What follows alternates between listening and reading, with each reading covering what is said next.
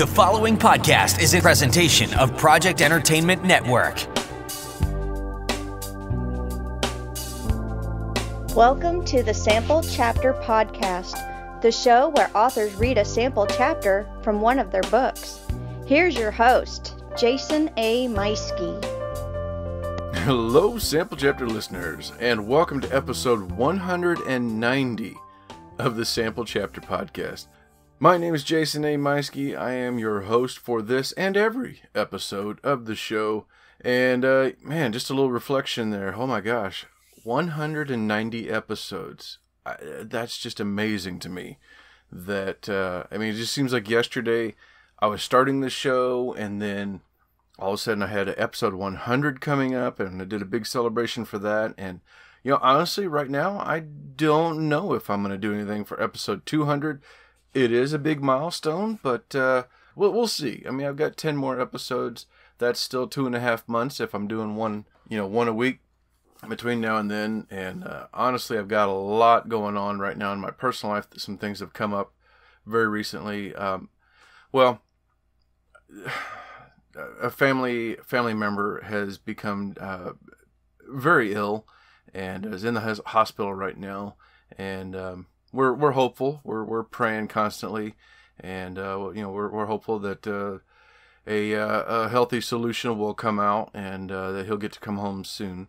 If you are one who uh, prays, you know, or if you just want to send some positive vibes our way, then I greatly appreciate that. But that uh, this event has kind of turned some things upside down. We've all been, everyone in the family is working together to try and juggle, you know, juggle kids and our schedules and work schedules and everything, and, it's been a little nuts. Um, but you know what? You didn't tune in for all that. Like I said, that's just kind of throwing some things off. Uh, for I'd been considering whether or not to do something for episode 200, but for right now, I think I'm just going to wait and see how things go the next couple weeks and uh, go from there. But meanwhile, meanwhile, we're not gonna we're not here to discuss anything that's gonna bring you down. We're here today specifically to discuss Dr. Eva Shaw, historical mystery author and very accomplished and well renowned ghostwriter.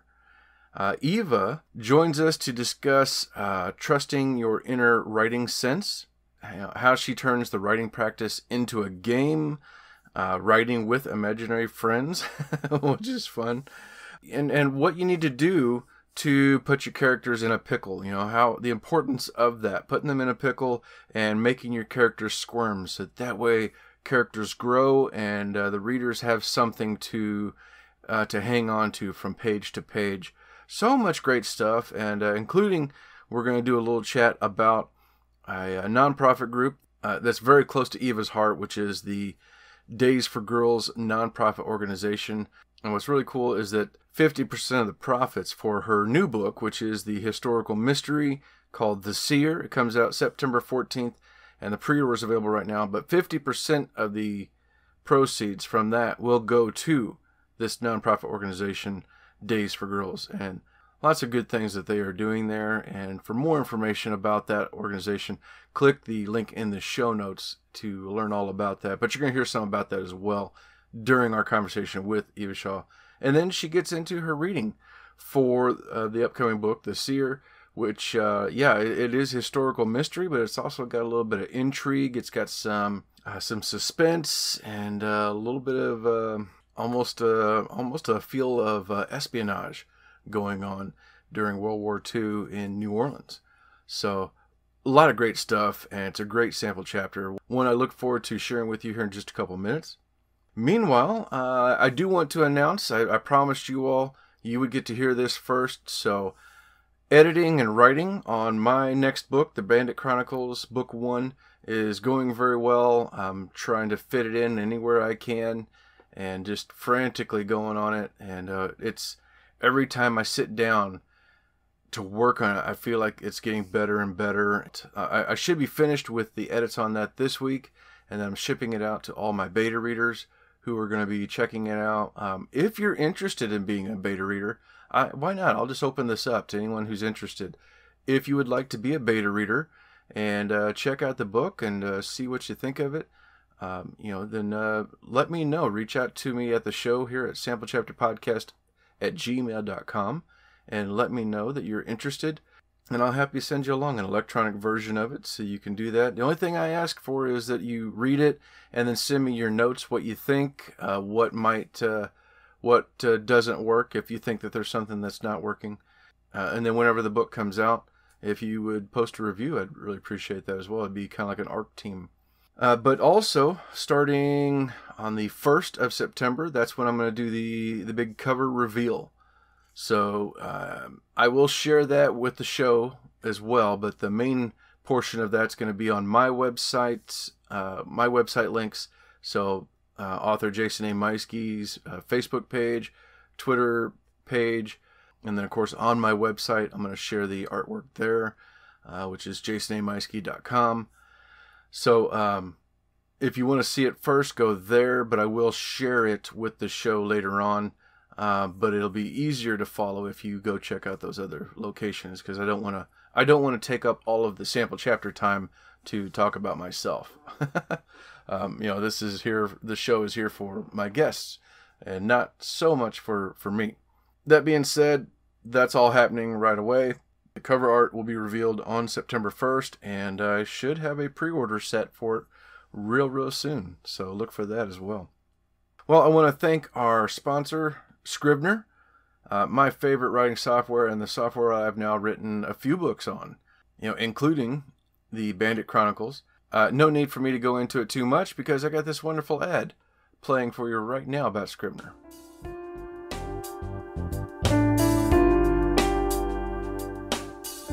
Jason here.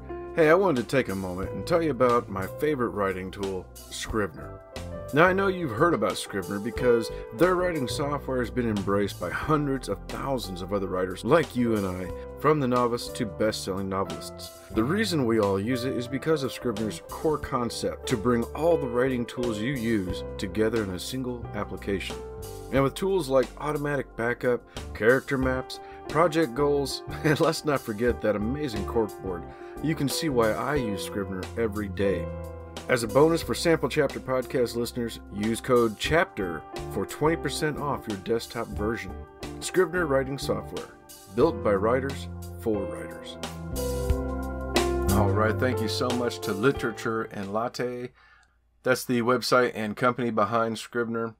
Uh, love having them, um, being a partner with them again and getting to share that uh, coupon code with you so you can save 20%.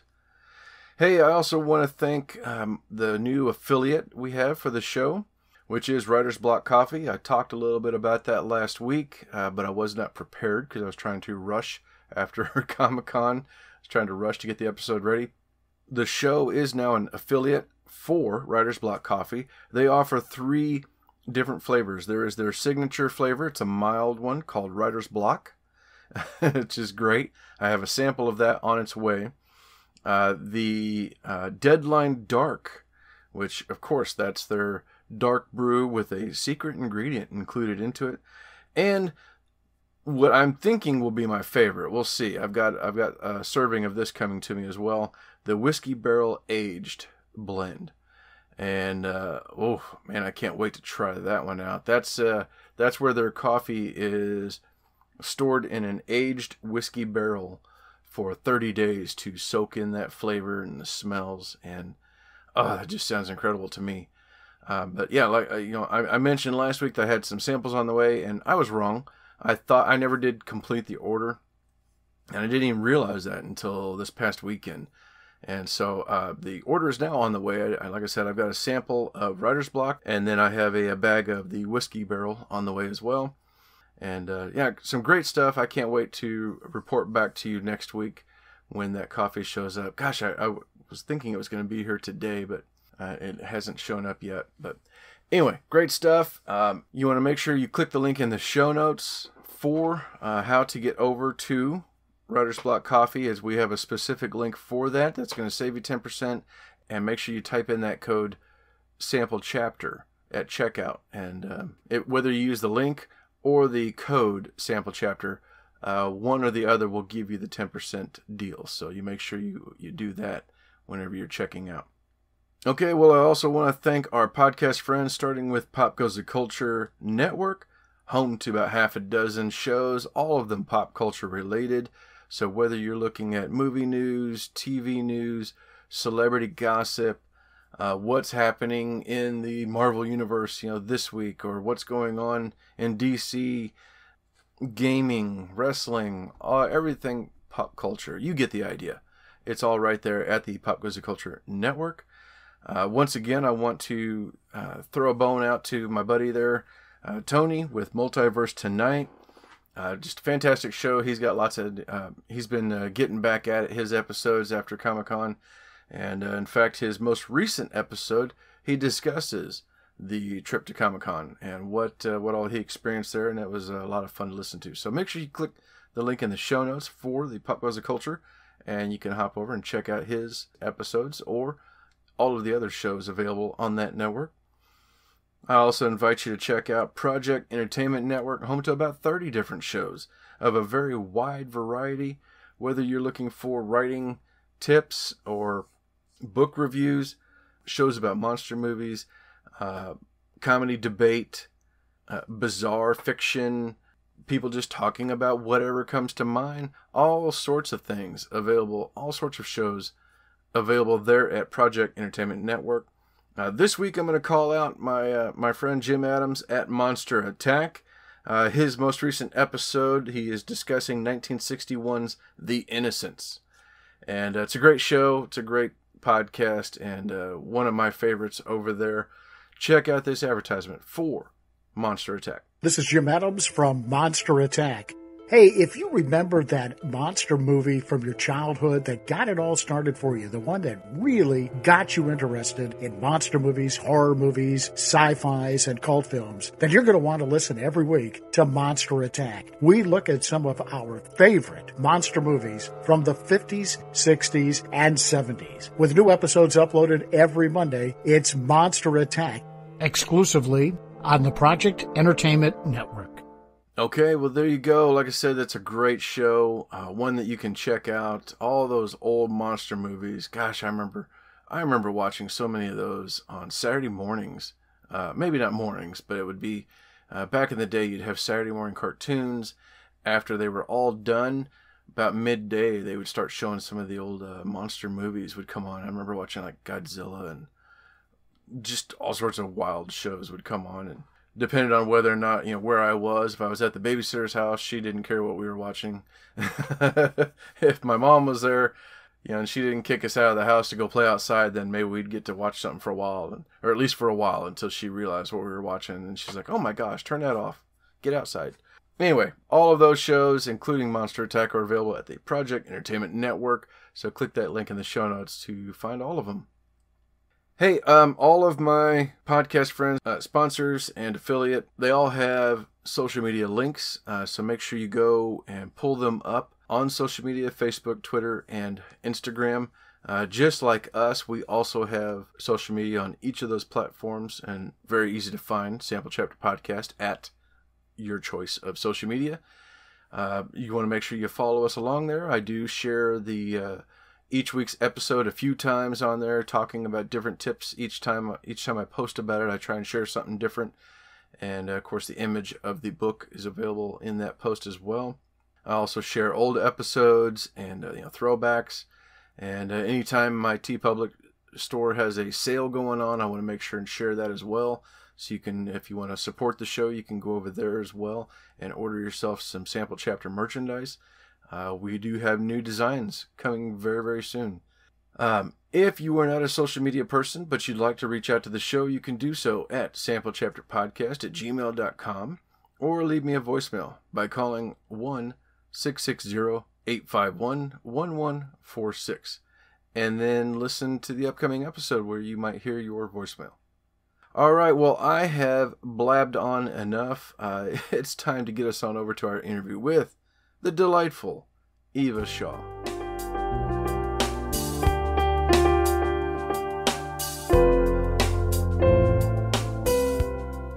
Hello, sample chapter listeners.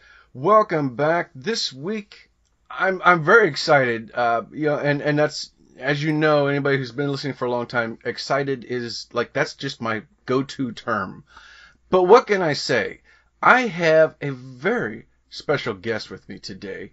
We have one of the most the country's premier ghostwriters in Eva Shaw. Uh, not only is she one of the premier ghostwriters of the country, she is author of more than a hundred award-winning books. She also teaches five university level writing courses available online at 4,000 colleges and universities worldwide. Uh, additionally, she's also written thousands of articles, essays, and short stories. And here today to discuss her uh, her brand new book that is her own, which is called The Seer. Eva Shaw, welcome to the show.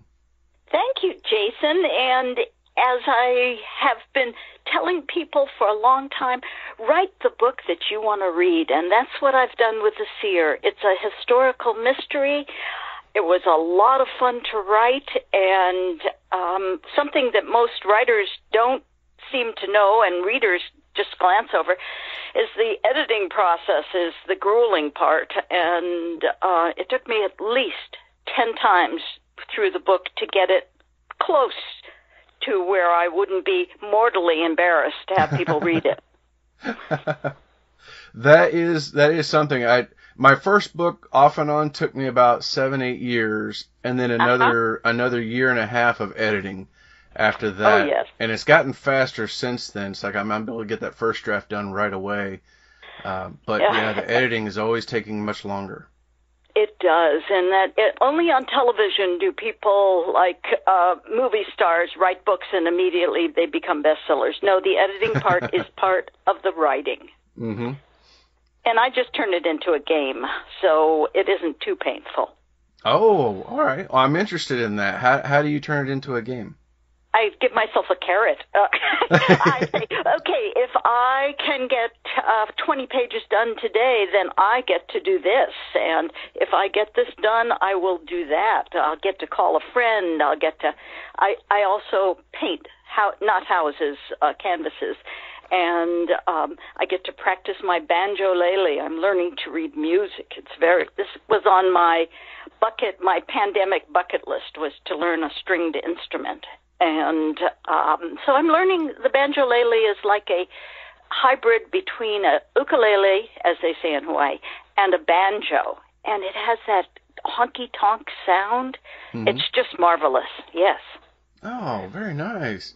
Now, do you do you have like set hours? Do you like to get up in the morning to do your writing and try and get it done, or is it an evening kind of thing for you? Oh, I, I'm a morning person, and so after Coco and I uh, take a walk. Coco is my little Welsh Terrier. After she and I take a walk, at least um, two miles, because she's a high energy girl, uh, then I spend the next four or five hours teaching, ghostwriting, writing the novel, whatever I'm working on. And then later in the afternoon, two to four, I come back to my office in my home and um, start again. Oh, okay. Wow, so it's, a full day. Pretty, yeah, uh, I'm not good in the evening. Past eight o'clock at night, I'm just like inter zombie lo- zone. and if you call me, then I will totally forget that you have called me.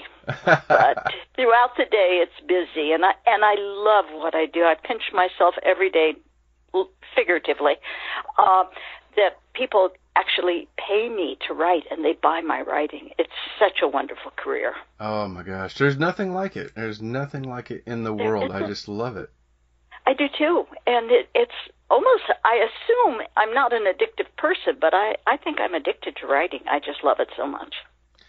It really is a, uh, a fascinating thing to sit down with other people's voices in your head and to scribe that and, and, and, and describe what they're talking about in a way that makes other people interested in it.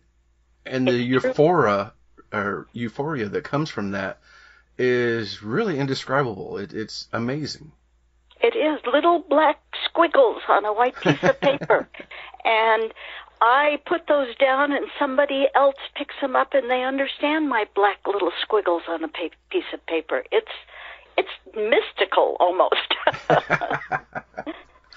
Now, one of the things uh, that you talked about is you do some teaching about ghostwriting, and you are also well, highly published uh, ghostwriter as well. Now, how did you get started with that?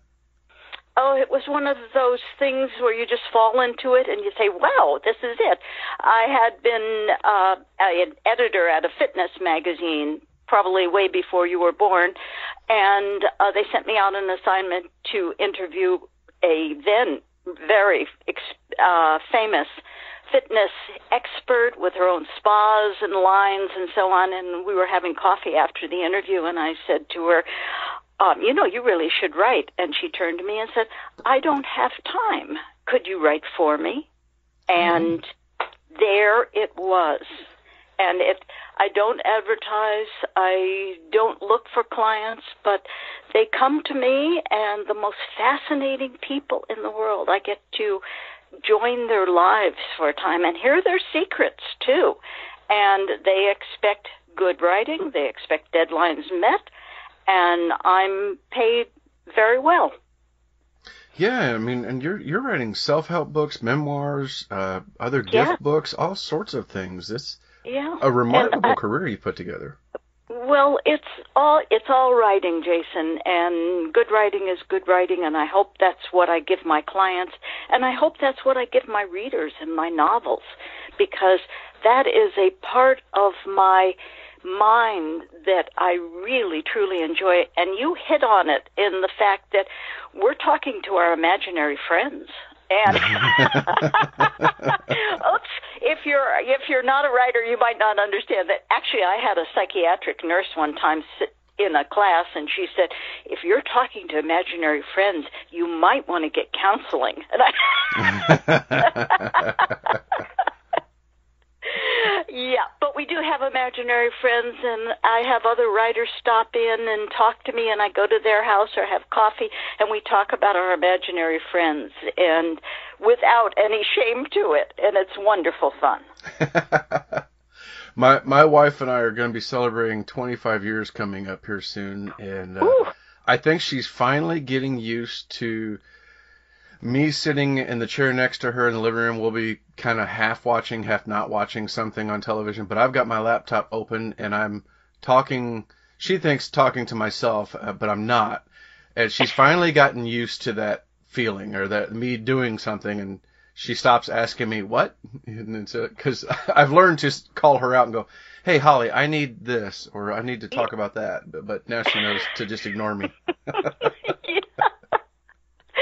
and you got to ask your question. You got to have tough questions for your characters. Don't just let them off with the easy stuff because they and uh, again, it sounds psychotic, but they know where the story's going. They know what to do. So we need to trust that inner sense as we write. Oh, and so right. we we also know when we're writing drivel, Jason. or if we write something, I call them golden words, and those golden words have to go. I've I've tried to save an entire chapter just for a couple paragraphs that I thought were brilliant, and then I thought, nope, that's the problem. I'm turning the book into something I don't want to save these, and they've just got to go.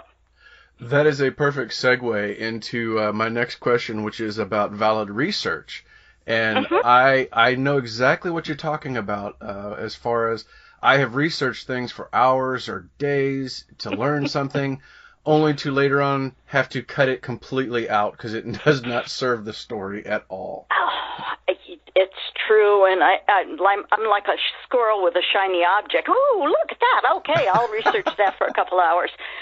Um, I thoroughly enjoy research, and I'm always asked, how do you know when you have enough? And I think it's a gut feeling, and maybe you can add something to it. But once I have information that I've got the big brush stroke picture of it, then I can find other details that I might want to add. And at a point, I say, okay, enough. I could spend my entire career researching the life cycle of a uh, monarch caterpillar and um, forget what I'm working on. So I am I am a very goal oriented person. And also, I like to finish things. And as a friend, Jackie Landis, once told me, perfection is the enemy of done. If you're trying to get perfection, God bless you, it's not going to work. So get to it, finish it up. You can always go back and edit and edit and change, but you got to get some words on paper to play with. Yeah, there, there's definitely a level of self um, uh, control that you have to have with the research because I don't think anybody can just look something up and, and you know any any writer is able to just look something up and go okay what's the definition of this okay great go back to it uh, or where did this come from? Okay, great, got it. Go back to your your writing. No, we've got to go down this rabbit hole for a little while, and then it's okay. I feel good enough, and I know the history of this and what was involved and who developed it and who did this. All right. So the answer is no, and continue on. And mm-hmm. but you've got to have that control and know that okay, I just spent an hour on something um, that doesn't fully fulfill what I'm looking for for this one line in a paragraph. Mm-hmm. You, and you got to be able to come back to it. And I think that's all about experience, isn't it? That mm-hmm. um, I'm often checking the thesaurus for a better word, and like nine times out of ten, I come back to the first word I've used, but I have to check it. I have to say, do I? Does that sound good? Um, and silly words that we come upon, and I'm a deadly Scrabble player, so I just thought I'd add that. silly, silly words we come upon, and I have to know the meaning of it. But I can't take two hours to find the meaning meaning of it. I need to get with the research. Does that word fit? If not, go back to a simpler word. Exactly, exactly. But at the same time, valid research is essential to the story. What what does that mean to you? That means reading Wikipedia but not using it. uh, and we all use Wikipedia. I mean, I you know if I need to know the square mileage of uh, North Dakota, yeah, I'm going to go there. But it means delving into sites that truly are valid and checking them. When I first began thinking of a book based in World War II New Orleans, and I am there. I, I consider New Orleans my second hometown because I love it so much. Um, I had never heard of Camp Algiers, which was a POW camp across the Mississippi, or across the river as it's called, uh, from uh, New Orleans, mm. where it held both Nazi sympathizers and Nazi war criminals and um, fleeing Jews from Europe, and and they held them together. And I was absolutely mortified and fascinated, and so I spent a lot of time with that, learning about it. Yes, research that's valid, that's true, has to be in there. Of course, if you're writing science fiction, you can make up your own details, but stick with the details. Stick mm-hmm. with whatever world you're writing about. And in my case, I wanted to throw in some historical, not hysterical, but historical characters um, like Charles de Gaulle and Eleanor Roosevelt and things that were really trending at that time. So I had to do some real research. And if you flub on those facts, I swear there's a retired English teacher in Bangor, Maine, who will point it out and write letters to the editor of your publishing house and complain about you. You've met that person, right? I I have, yes. I have received those letters. Yes, uh, you've got to get some just enough details right that uh, it resonates with the people in that area. So they go, "Oh, yeah, I know that corner. I know where you're talking about." Exactly. Exactly. And that was one of the fun things about writing about the French Quarter in New Orleans is because I know it. And um I could smell it and I I've been there on Mardi Gras day when uh people are marching down the street with a drink in their hand and wearing tutus and waving magic wands, gentlemen who should not be wearing those things. And um just feeling the essence and the excitement of the city even during World War II when things were pretty subtle and much of it went underground. Yeah. So so why uh, why New Orleans and why uh, pre or, or, why that era as well the the uh, World War II era? I I am drawn to that era. I, if you haven't been to the National World War II Museum in New Orleans, it is a feast for the senses and truly one of the best museums I've been to, and I'm a pretty much a museum junkie. And after a number of visits, I thought about how the fear of World War II would affect the population, being right there on the Mississippi. And it is documented that uh, Nazi uh, war boats were in the Caribbean and, of course, established in Central America and uh, South America. And the fear was that the Nazis would take over the Panama Canal and mm. cripple America. Mm-hmm. And so, why do these people have the fear? And during that time, there was, when I was writing it the last three years, um, there, before the pandemic, there was a lot of fear with politics and fear on a local levels with unrest. And I was curious how the average person would fear going about their day uh, with that fear in mind, and who would they turn to? And I thought, well, who would they turn to better than a psychic? Even though my protagonist is a fake psychic, and that's established early on. yeah, and everybody, we're talking about Eva's book, The Seer, and uh, I'll read the synopsis from it here real quick. It's uh, it's February 1942. War grips the world. Asian hate runs rampant and New Orleans is a dangerous place for Chinese English scientist Thomas Ling as he collides with self-proclaimed psychic Beatrix Patterson. She's a good liar with an excellent memory, which in truth is her only gift. Well, that and conning the well-heeled out of their money and secrets. It sounds incredible. This is a wonderful uh, hook for it. Oh, good. I guess it did its job then, Jason. Thank you. yes. So, what would happen to these characters? And you can practically talk to them because they are going to find themselves in a pickle, as my mama used to say. And um, we want our characters to squirm a lot. We you know, it would be boring to say, oh, they had a happy life, a happy marriage, three happy children, and then they retired to Florida boring.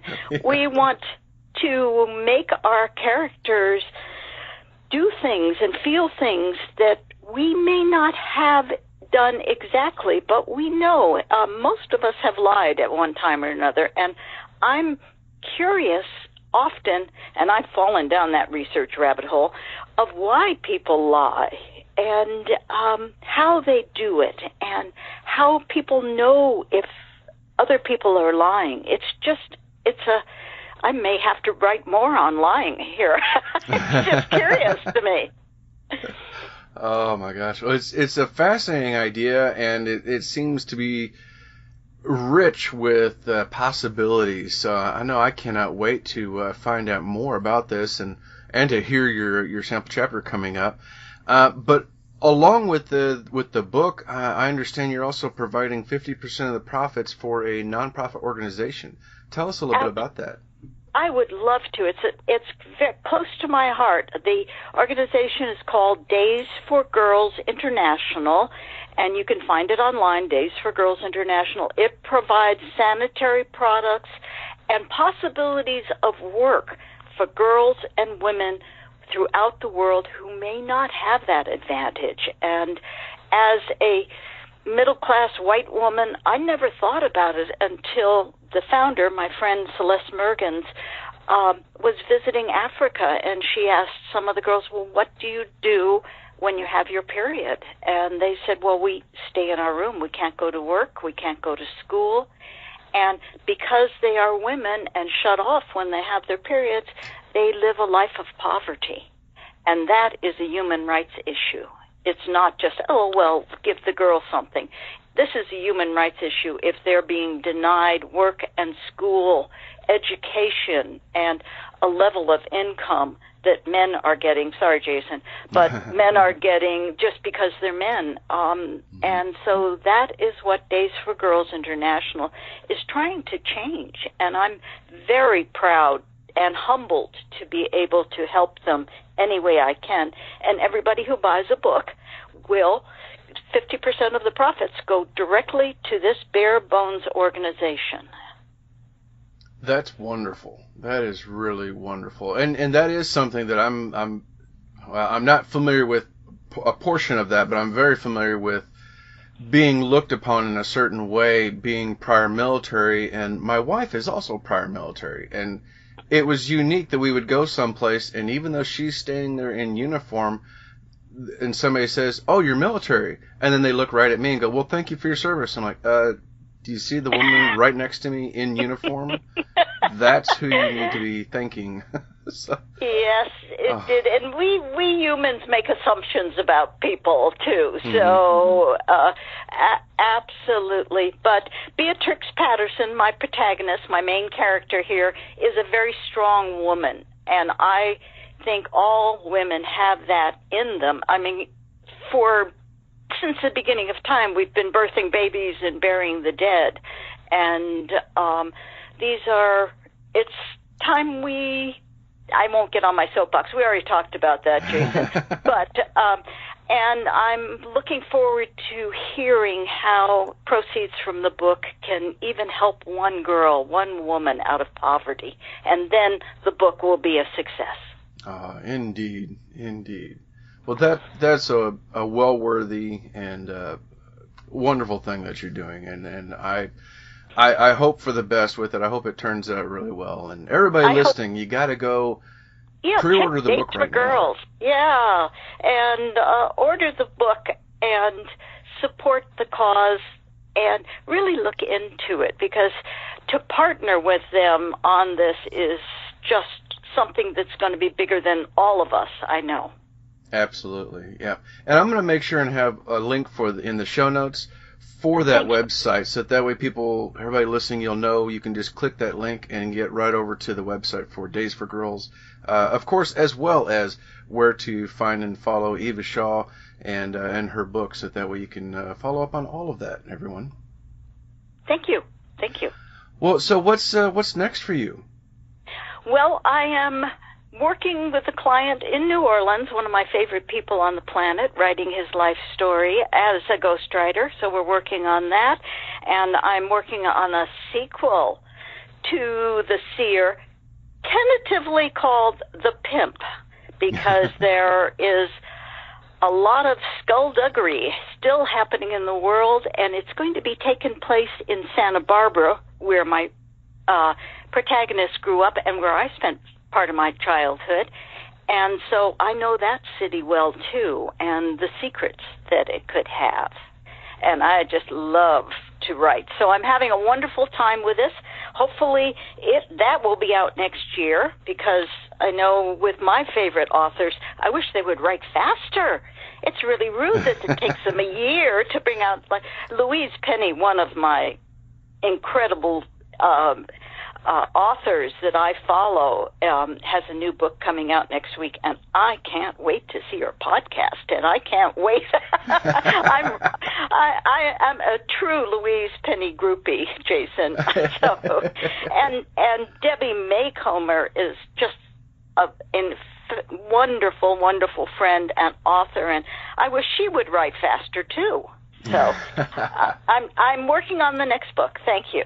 Oh, wonderful! And you said something interesting there in the uh, uh, how you're writing. You're, you're, writing two different things, completely different things at the same mm-hmm. time. Do you like uh, d- that? Doesn't give you any problems? You're able to do that and keep them separate.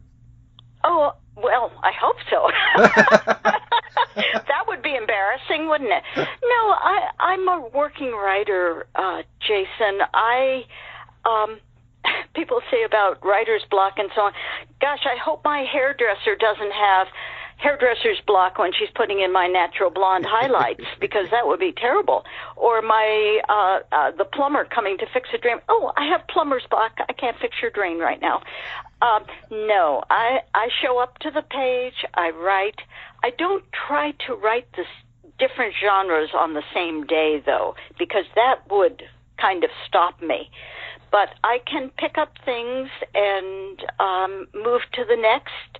I with this new novel, I had to let the ideas percolate in my brain for it's been about three months before I would even write anything. The characters were forming, the stories forming, the outline is there, and then finally, about two weeks ago, I started writing, and I'm up to 20,000 words, and it's just pouring out. Oh, that's fantastic! Such a great feeling too when that when that finally reaches as you say, as it percolates and yeah, it gets to that boiling point. It's coming out. So it's okay. Time to write. Here we go. Uh, time to write, and it's not going to be perfect. And I'm going to get it down, and then I can beef it up in places and change it. But unless I have words to play with on a paper, I I don't have anything. So those listeners who are thinking of writing, get the story down. Don't edit as you go. Just let it pour out and see where it goes, and then go back and work on it. There you go. I completely agree with you. Eva, thank you so so much for joining me today. Uh, where where can people find and follow you? They can find uh, the seer. Is that what you said? Yes. well, you, uh, you, and of course oh, the book. Oh, me, yes. and I am not, I am not the famous rock star or supermodel, so they'll have to Google Eva Shaw writer, and they find me. Otherwise, you'll think I'm the supermodel. and um, uh, the book, The Seer, is available where all books are sold. It officially comes out on September 14th, so it's in pre-sales right now, both Kindle and um, audio and um, not audio, Kindle and book, and um, hopefully it'll just be everywhere we want it. Wonderful. All right, and as I already said, people, I'm going to have links for that in the show notes, uh, everywhere that you can find and follow Eva, and the books, and uh, and of course the uh, Days for Girls website will be there as well. So just when you get done listening to this and you hear this chapter, save the episode, click the links down there, and uh, go check out all these wonderful things. Thank you. Thank you, Eva. It's been a delight talking to you, and I cannot wait to hear this uh, this sample chapter. Okay, and I hope that you will enjoy the book, Jason. I hope the readers will, because that really is my goal to write something that readers can resonate with and and have a good time reading. Reading is escapism, and I love it. So I do that's too. my goal. I do you. too. All right. Well, ladies and gentlemen, that is my cue. I'm going to step aside with my coffee and enjoy this sample chapter from our guest, Eva Shaw, with The Seer. Chapter 1 Royal Street, New Orleans, Louisiana, February 16, 1942. Beatrix Patterson was a liar and a good one. It's for everyone's best interest, she said. I take from the rich and give to the poor. At least the second part of the statement was true. She gave herself credit for that. Tucking her film star inspired page boy into a navy blue snood, the fishnet covering supposedly trendy at the time, the slight woman with dark circles between her eyes, and a sweetly innocent appearance that made men and women instantly feel they must nurture the poor little waif, avoided looking at a reflection in the storefront mirror. Thomas Ling, however, twisted the doorknob. The front door creaked as he inhaled and moved over the threshold. Beatrix straightened. She spun around before tucking her wavy hair back into the snood. Just don't stand in the doorway. Someone might see you, she snapped at the strangers. What can I assist you in finding, sir?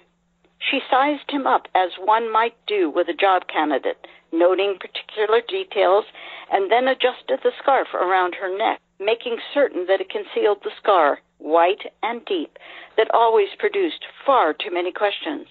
I know you understand English, so make a decision. If you stand there, someone will see you. She smiled in a practiced way to invite confidence and used her most compelling psychic lines as she whispered, Come in, sir. I have been waiting for you. Looking at the man in the doorway, she continued to play the guessing game that her French nursemaid had taught her to improve her sense of observation. It was called What If. Thomas stood halfway into the office, flinched, quickly decided he could overtake the diminutive woman, but not half of the New Orleans Police Department, who seemed to be on Royal Street, stopping every man in sight. With the decision made, Thomas bowed to the occupant. Finally, he reached behind the red velvet curtains and grabbed the Help Wanted Inquiry Within sign from the window. He nodded three times, keeping his eyes lowered. You need laundry man, missy. No, I do not. She stood and walked around the desk to be closer to the visitor and twisted the knob to lock the door. He inched into the office. Missy need houseman? I no get knackered. I good worker. Thomas's eyes widened at how quickly she moved, which bothered him more than being locked inside with her. Yet the locked door meant that if he were followed, as he had to admit seemed true, he would be safe for a time.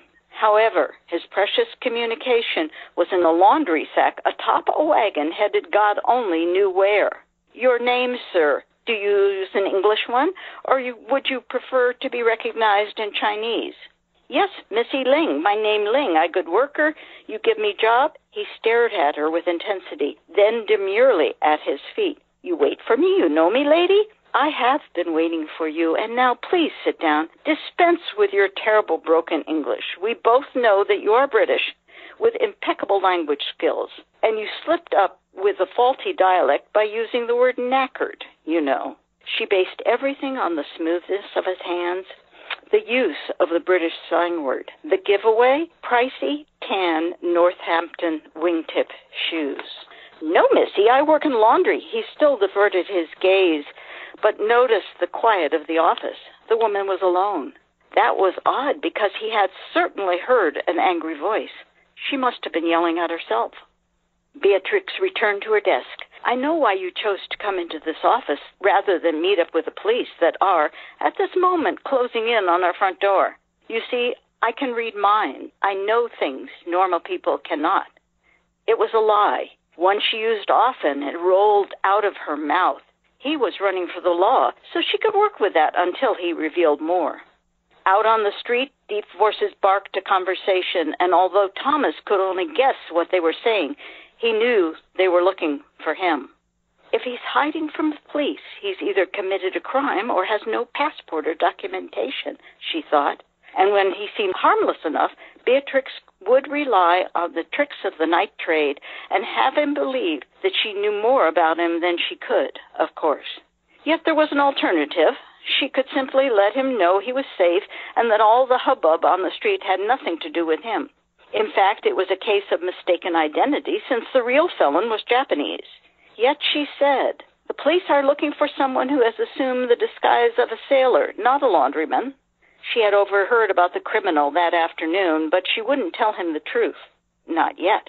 Before the war, Thomas had often spent evenings in a darkened cinema, never revealing to his mates or family in England that he wanted an adventuresome life like Humphrey Bogart and Ronald Colman. In fact, his life in England was so far from anything cloak and dagger that when a colleague at Cambridge asked him to retrieve an envelope to take to the address in New Orleans, he replied, Most certainly, I will do it, even before all the details were explained. It seemed so much like a game, like a stage play that he and his peers had put on while he was at boarding school. How could this woman know so much especially since he had no plans to enter her office disguised as a laundryman or as a sailor he'd been impersonating just minutes before. Who had told her? Who could have? I am afraid you are mistaken, madam, Thomas said, returning to his cultured British accent. He straightened the bent posture of the laundryman and again resembled the compact scholar he was while calculating that there must be a back door on the other side of the curtain wall. Beatrix saw his gaze dart to the curtain. Do not make mistakes, sir. Kindly sit down. The back door is locked from the inside, and the key is in the desk. If you want to leave after we have finished our conversation, I will hand it over to you, but I don't think you will need it or want it. Thomas Ling had a classical education, but he was also trained in the martial arts. It was true he had never set foot on Chinese soil, Nonetheless, he considered Shanghai his home.